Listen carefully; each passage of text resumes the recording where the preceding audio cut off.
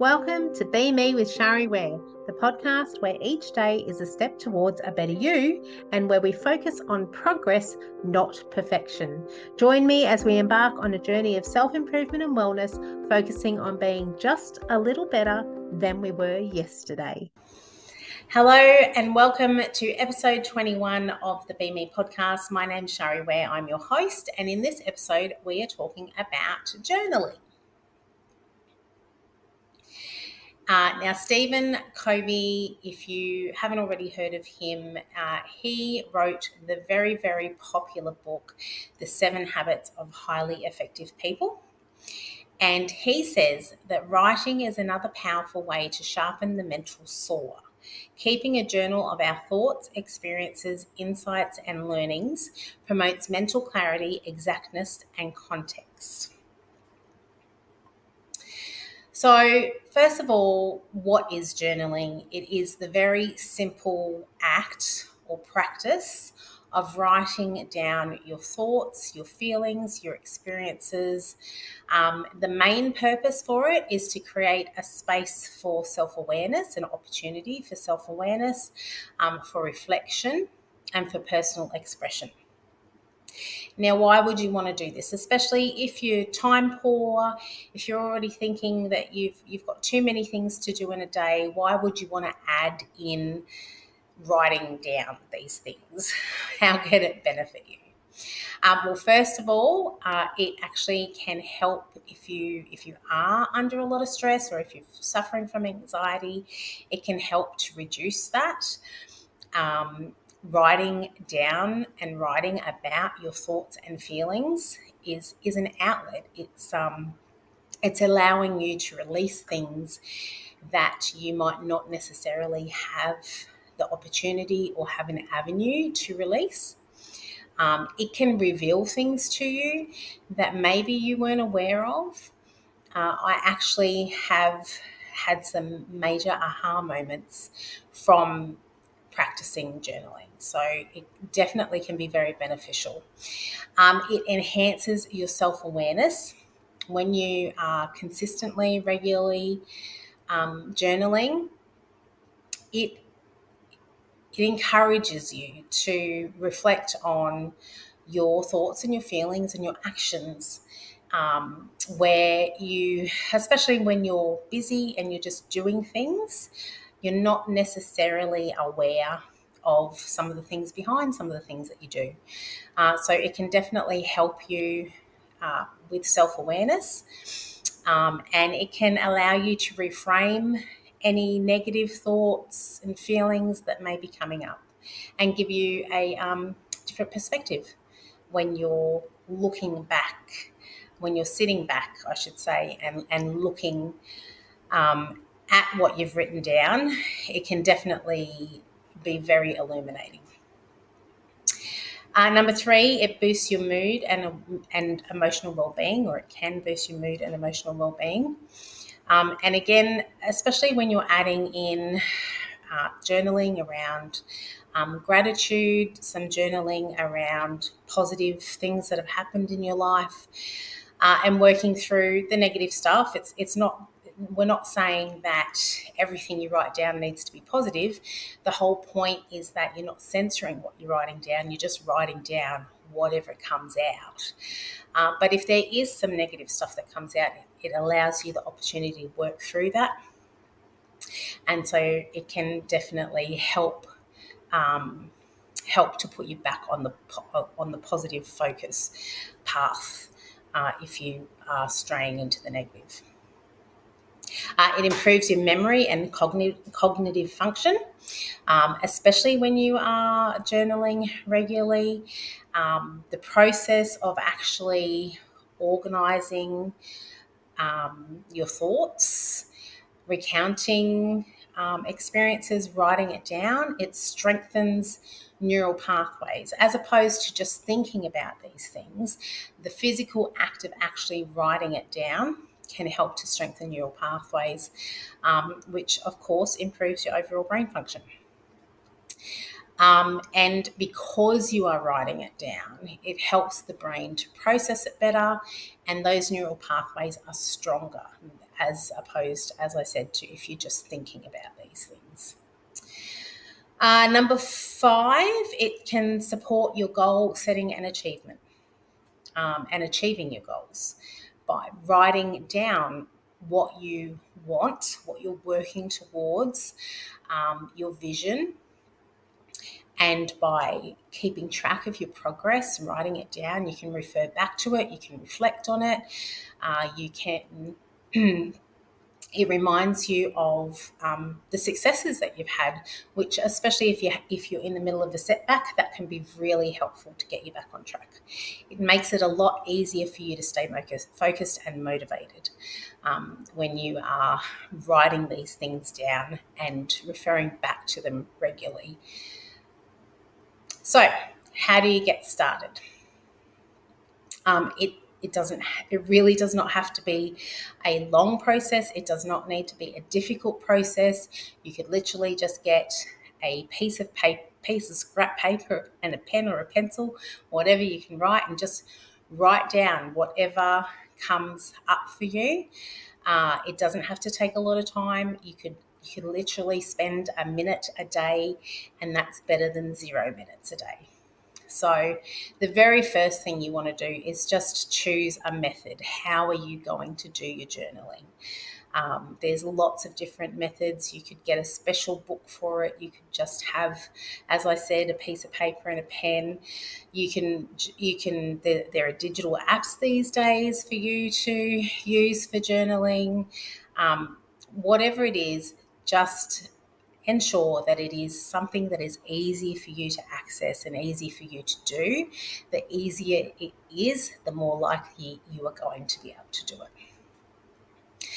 Um, set aside a regular time, and if you go back to habit science, um, attaching it to something that you're already automatically doing each day really helps to make it easier to create the habit in the first place. So, so for instance, if you have a cup, if you sit down and have a cup of coffee every morning or a cup of tea every morning, if that's part of your morning routine, then you could you could say that when you're sitting down having your, your cup of tea or coffee that you are going to do a couple of minutes of journaling um, something like that when you are writing when you are journaling just allow yourself to write freely. There's no rules. This is for your eyes only. Nobody else ever has to see it unless you want them to.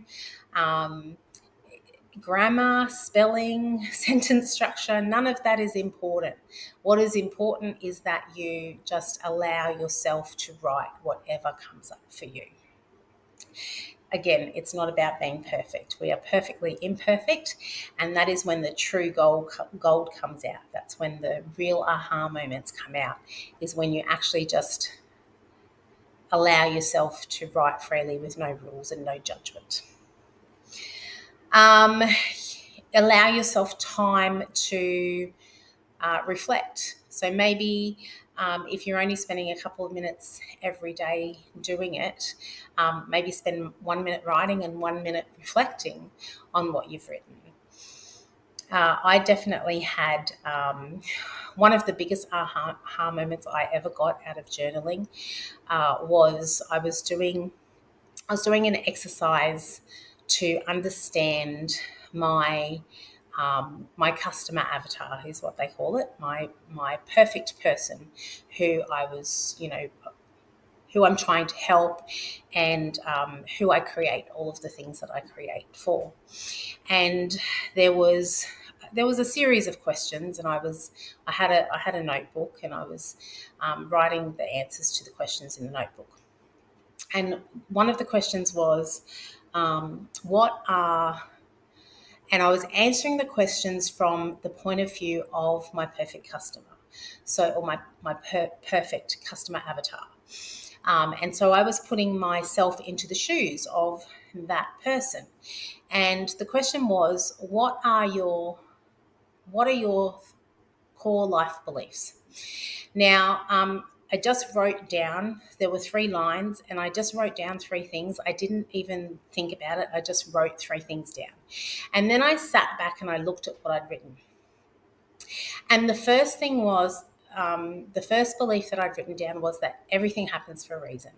That's something that I've believed for um, most of my life. It's something I still believe today, and uh, quite probably I will believe that for my entire life. Um, and I'm okay with that belief. It was the second and the third belief that um, really, really shocked me. Um, the second one was that everybody else is more important than me. And the third one was that I'm a bad person. And when I looked at those things, it really, first of all, I wasn't consciously aware that those beliefs were in there, but it really showed me or helped me to understand why why there why I had self sabotage so much in my life. Um, and that has definitely been a recurring theme throughout my whole life. That was um, a really big part of my whole journey. And I, I, I didn't always understand completely. I, I, I had an idea, but I didn't realize that those beliefs were in there. And what it made me realize that at some point, those beliefs changed. Because if they hadn't have changed, I would have been stuck in that cycle of self sabotage still. Um, so it was such a simple um, a simple practice. I wasn't even i wasn't even um, practicing journaling as such. I was answering questions um, in, during a business exercise. But what it revealed to me was life changing. So that really is the power of journaling. And and the only way a lot of times that that stuff comes out is when you allow yourself to do some form of journaling, just writing down thoughts and feelings, even if it is answering questions, which we're, that's actually the next thing on the list. List. What are some practical tips to help you with journaling? If you don't know where to start, if this is new for you and you have no idea where to start, then start with some prompts. Start with some questions um, and answer the questions, or or continue the prompt. Um, a prompt could be, What am I grateful for today? Um, another one could be, What are my goals? What are my goals for the next, you know, uh, week or the next month or the next six months, whatever, whatever works for you. Um, another tip is to keep it simple. Don't overcomplicate it. We make things way too difficult. They don't need to be difficult. Um, the simpler, the better. The easier it is to do, the more likely you are going to be able to do it and to continue to do it consistently. Um, and be honest. Nobody is nobody else is going to see this. What you write down is for your eyes only. So there's no reason why you cannot be 100% honest with yourself when you are doing your journaling. Uh, so that's some tips, benefits, why it's good for you to do it, um, how to get started, and some tips for you for doing it. As usual, I will um, I will put the link to the corresponding B ME Bites edition, which is B ME Bites 19: The Benefits of Journaling, Writing Your Way to a Healthier Mind. I'll put that link in the show notes for you. I highly recommend you checking that out because um, I do give there's generally things in the written edition that don't make it into the podcast, um, and vice versa. I mean, there's some things that I put in the podcast that don't get into the written edition just because I don't script I don't script my podcasts and I really just whatever comes out is what I know is meant to come out at the time. Um, but I, I do direct people back to the written version because I do always put resource extra resources in there, and there are quite a few resources um, that will be helpful for you if you are if you if you aren't currently practicing journaling and you do want to add this into your daily routine, um, there's some resources that will help you in the B ME Bites edition. So, without further ado, that is it for this episode. And until the next episode, keep taking one steps step at a time. See ya. Thank you so much for joining me on this episode. Remember to check out the show notes, and if you have any comments, feedback, or suggestions, I'd love to hear them. If you've received value from this podcast, make sure to subscribe, and I'd love you to rate and review the show. Have a fabulous day.